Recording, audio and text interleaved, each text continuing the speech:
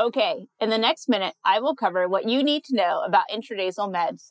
There's so much more, and we get into the details in the rest of the video. Don't miss the rest of the video to be fully prepared. Intranasal meds are safe and effective, and you can give them easily with these steps. 1. Partner with the parent and the child. 2. Stabilize the head. Use help if you have it. 3. Typically, we pull up an extra 0.1 ml of medicine to account for the empty space in the mucosal atomizer device. 4. Lean the patient back a little. 5. Get a good seal and point towards the tip of the ear. 6. Depress plunger quickly to create mist. 7.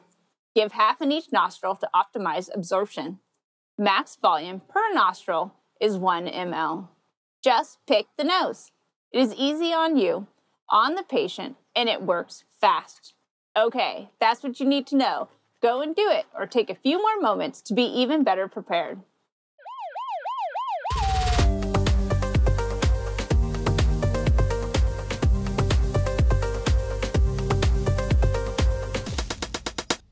Welcome to the Emergency Medical Services for Children Innovation and Improvement Center's Just in Time video. I'm Justine Damazo, a paramedic supervisor in Santa Rosa, California. I've been a paramedic for eight years, and I actually really enjoy my pediatric calls, not only to challenge myself, but because I know I can make a difference for the patient. Today, I'm going to tell you three reasons why you should consider picking the nose or using the intranasal route and how to do it. Intranasal medications in the field can be used for anxiety, seizure control, and opiate overdose, but Probably my favorite is pain control for kids. I like the intranasal route for pain control for four reasons. One, it is easier for you. There are no needles, so it's not as dangerous for us as providers. The nose is a much bigger target to aim for, and we all know it is a challenge to get an IV in a young child in pain. Two, it is easier for the child because it is not as painful or scary as a needle. Three, it is faster and more reliable than the oral route. The nose brain pathway is a quicker onset than by mouth and only slightly slower than by IV. And if you account for the time it takes to get an IV, intranasal can end up being faster. It works quicker than oral route because the nose is so vascular and innervated. The meds are atomized and absorbed on the nasal mucosa. Four, there are not as many side effects. Okay, now we know why. Now let's get into how. Let's say you have a five year old with a deformed forearm. You place the splint, elevate, grab a cold pack, and get ready to head to the hospital. The child is clearly in pain, so you go for the intranasal route. Intranasal meds are given based on weight. First off, calculate the dose per your local protocol. The TREC EIIC pain management treatment algorithm recommends fentanyl, 1.5 micrograms per kilogram per dose, with a max of 100 micrograms per dose or 1 ml per nostril. Then, if needed 10 minutes after the first dose, you can give another 1 microgram per kilogram per dose max of 50 micrograms per dose. This may feel like a lot, but absorption is different via the intranasal route, so you need roughly two times the IV dose. So, if the child is 20 kilograms, we multiply 20 by 1.5 and get 30 micrograms.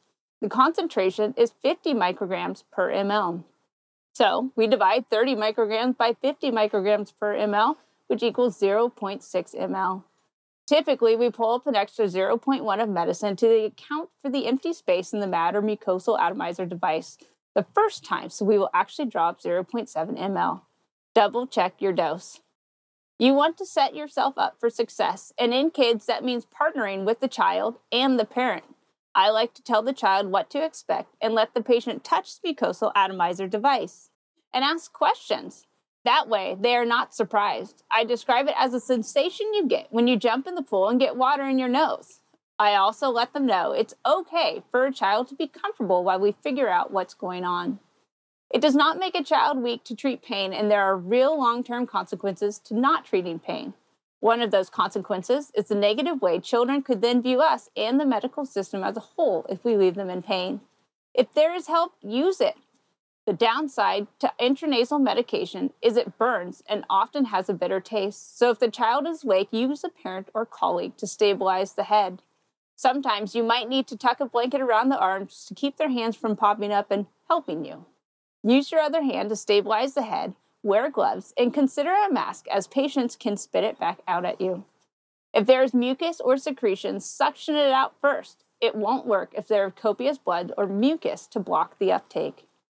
Lean the patient back a little so the meds don't just drip down the throat or drip out the nose. You want a good seal on the nose and point up and out. The tip should point to the top of the ear on the same side of the nostril. Give half in each nostril if it is more than 0.3 ml and no more than 1 ml in each nostril. Rapidly push the plunger. If you don't push the plunger fast enough, the medicine will not aerosolize and they will likely swallow the medicine. Then you lost the advantage of the nose. Okay, quick review partner with the patient and the parent, stabilize the head, use help if you have it, suction out, make room for the meds, sit the patient up, leaning back slightly, get a good seal, and point towards the tip of the ear. Give half in each nostril to optimize absorption. Just pick the nose. It is easy on you, on the patient, and it works fast. I hope this video helps you feel confident giving intranasal medications for children in pain. Find additional resources on managing pediatric pain by visiting the EIIC website and search PEAK Pain.